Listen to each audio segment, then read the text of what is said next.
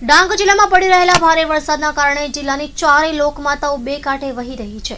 જ્યારે અંબિકા અને ખાપરી નદીમાં આવેલા પૂરના કારણે પંદર જેટલા કોસવે ઉપર પાણી ફરી વળતા ત્રેવીસ જેટલા ગામો સંપર્ક વિહોણા બન્યા છે.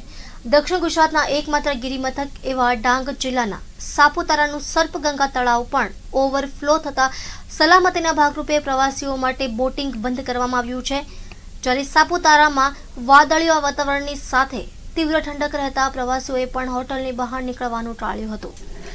જ્યારે જિલ્લા તંત્ર દ્વારા પૂરના કારણે કોઈ અનિચ્છનીય ઘટના ન બને, તે માટે અંબિકા અને ખાપરી નદીના પૂરથી ડૂબી ગયેલા કોઝવેને વાહન વ્યવહાર માટે બંધ કરવામાં આવ્યો છે.